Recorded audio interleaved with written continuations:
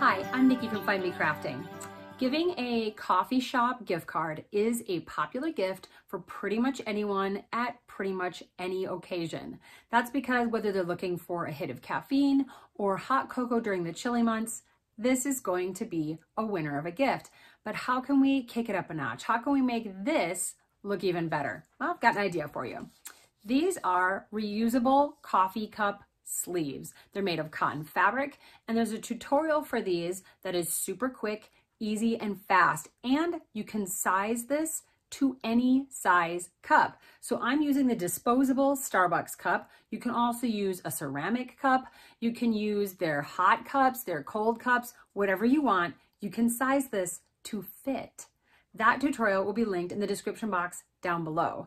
And one of the other awesome parts about this particular coffee sleeve is that it is reversible. Look at that. Two fabrics, two really cute patterns in one. So whether they're drinking hot beverages or cold, this is going to keep their hand comfortable and their drink looking super cute. In this video, I have a quick little hack for making these, which are already really quick, just a little bit faster and a little bit easier for your pattern placement when you're cutting out your fabric. And once you've made a whole collection of these, because just try and make one and stop, I dare you. Once you get to that point, I have these tags available for free to print out so that you can include a gift card with your coffee sleeve or if you'd like to just skip the gift card and just give the coffee sleeve, I have cute little tags like this that you can attach. Either one is gonna make this one heck of an awesome gift. Come on, I'll show you how. And if you haven't already, don't forget to subscribe and hit the notification bell so that you don't miss any new patterns or projects. You want to start by printing off the free pattern from oklaroots.com. This is fantastic. She has an entire tutorial for how to make these sleeves and her free pattern will make three different sizes. She has a small, this is kind of the regular small size. Then she has one called the cardigan, that's like this size here. Actually, I think that that's a small. I think that's this size here, the cardigan. And then she has one called the parka, which is the largest size. I'm gonna be making the cardigan size, which is the medium one. I think that one's my favorite.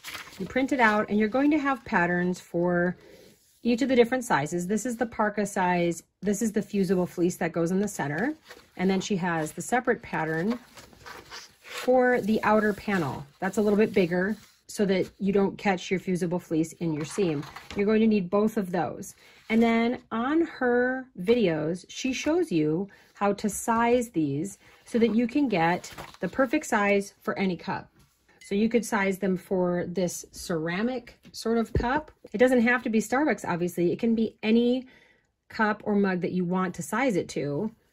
But this one I've made before. This is mine, and it fits perfectly onto this one. So it doesn't fall down. It's just perfect. You can size that up for a cup like that. You can also size it up for the disposable paper cups. That's what I'm going to be doing today. This is a hot cup. You can size them up. These are very similar in size, these two. But any mug or cup that you want, you can create a coffee sleeve that fits perfectly. So this one is sized for the paper cup. You can see that fits perfect. See, it's going to stay up without falling. And I have two of them But if you compare them, if you lay them flat and line them up, you can see that this one is a bit larger, so it fits just right. And it's super easy to do, and these are awesome. Once you get started, you're not gonna wanna stop making these. And here's a little hack. This is my hack for you. Once you get your pieces all sized for whatever cups you're making it for, so this is the fusible fleece and the outer panel for the ones I'm going to be sizing it to, which are these disposable paper cups you go to Dollar Tree and get a two pack of the cutting boards. They're bendable plastic, but sturdy and a little bit see-through, which is awesome for this next part. So I'm going to take my two pattern pieces that I have sized up. I know these are the right size for the cups I want to make. You trace your pattern. Then you're going to just take some scissors and cut out your templates. So I just wrote the details on here. Here's where I'm going to put it against the fold to cut my fabric. And I also wrote Starbucks paper cups so that I don't forget what I made these templates for. There are two reasons why I love making these templates out of the Dollar Tree cutting boards. One of them, one of the reasons is that when you lay it down, you actually can see the pattern through the cutting board.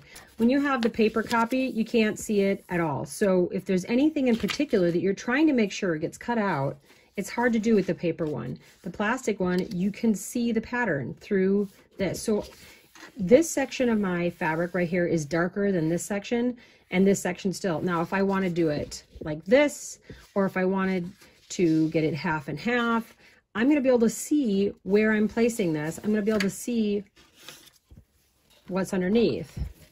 Here's another example. I'm going to make a Thanksgiving fall one. And you can see there's all these different colors. This is not the same pattern across the whole piece of fabric. So depending on what I want to see, I'm going to be able to see it through the template. And that is really super useful. The second thing that I really like to do with the template that's on the plastic, you have to do this very, very carefully. It scares me a little, but at the same time, it's such a time saver that I do it, even though it's scary. Once you have it lined up and your, your part of the template is on the fold, you can take your rotary cutter and very, very carefully cut so I can get it all cut out without having to trace and then cut by hand. I can just use my rotary cutter. Once you've sewn your coffee sleeves, you can print out the gift tags to attach. There's a link in the description box down below where you can go subscribe to my website and receive the download. For the best results, I like to print my gift tags on cardstock, then just cut them out, hole punch them, and tie them on with a pretty ribbon. If you want to include a gift card, also cut out the grayish rectangles that will print on the page with the tags and use adhesive or glue to adhere three sides of the rectangle to the back of the larger tag. Insert a gift card to your favorite coffee shop and they're ready to give away.